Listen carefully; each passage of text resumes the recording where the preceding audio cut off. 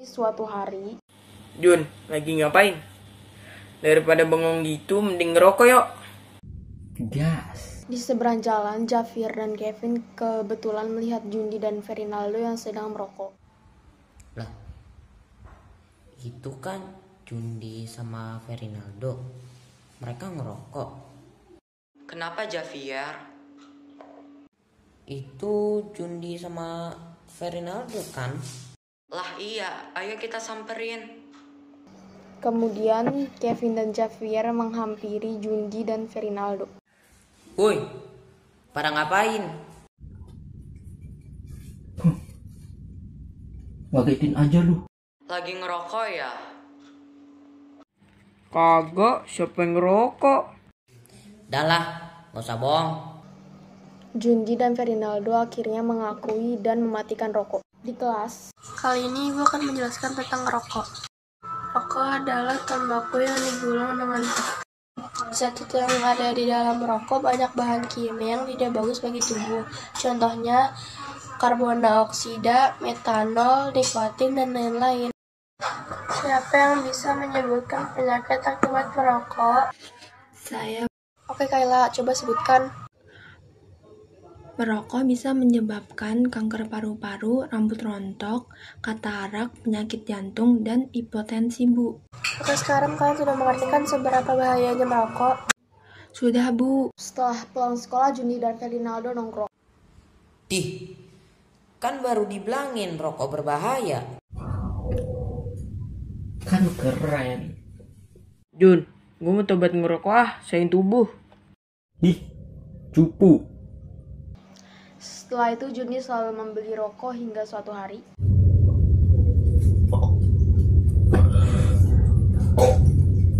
Dadaku sakit.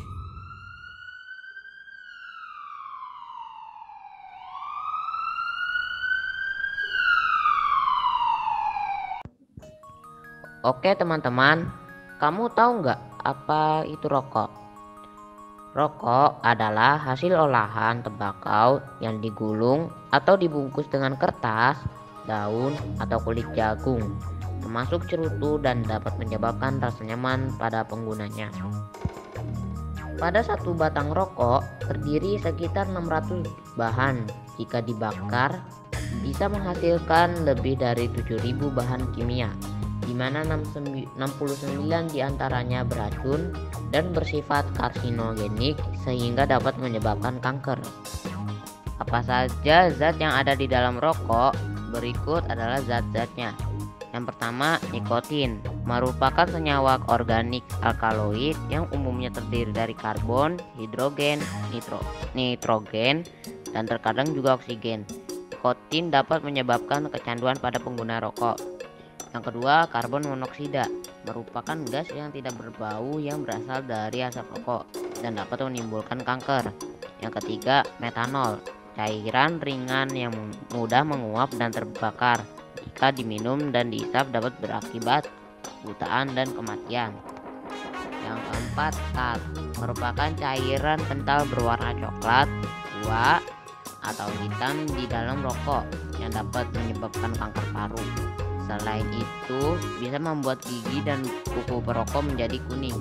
Yang kelima, amonia merupakan gas yang tidak berwarna, terdiri dari nitrogen dan hidrogen. Zat ini sangat cepat memasuki sel-sel tubuh dan kalau disuntikan pada aliran darah akan membuat pingsan atau koma. Masalah apa saja yang muncul bagi pelajar yang merokok?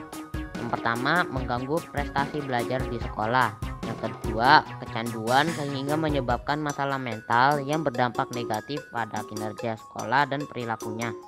Yang ketiga, perkembangan paru-paru terganggu. Yang keempat, sulit sembuh saat sakit karena perokok mem- mempengaruhi sistem imun di dalam tubuh. Yang kelima, terlihat lebih tua dari usianya. Apa dampak dari rokok? Dampak-dampak dari rokok di antaranya adalah rambut rontok, katarak, karies gigi, kulit keriput, hilangnya pendengaran, penyakit jantung, kanker, dan impotensi. Kamu tahu nggak apa perbedaan rokok aktif dan pasif?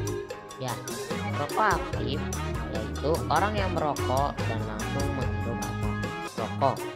Rokok pasif adalah Asap rokok yang dihirup, dihirup oleh seseorang yang tidak merokok. Apa sih yang menyebabkan orang merokok? Yang pertama, teman. Karena teman adalah orang yang paling dekat dengan kita adalah orang tua. Yang kedua, media massa. Karena media massa sering mempromosikan rokok. Yang ketiga, keluarga. Karena anak akan mencontoh perilaku orang tua atau keluarganya. Yang keempat, pengetahuan. Karena orang yang pada pengetahuan rendah tidak tahu bahaya rokok merokok. Yang kelima, sikap. Karena sikap bisa membuat orang ikutan merokok. Bagaimana cara untuk berhenti merokok? Berikut adalah caranya. Yang pertama, tentukan tanggal kapan mulai berhenti merokok maksimal 2 minggu ke depan. Kedua, beritahu niat kamu berhenti merokok kepada keluarga dan teman untuk dapat dukungan. Ketiga, antisipasi tantangan yang mungkin menghalangi berhenti merokok dengan membuat rencana cadangan. Yang keempat, buang semua hal yang berhubungan dengan rokok, termasuk asbak, korek api, putung rokok, dan bungkus rokok. Yang kelima, konsultasi ke dokter. Jika kamu mengalami gejala putus nikotin seperti pusing, sakit tenggorokan, gelisah, dan lain-lain.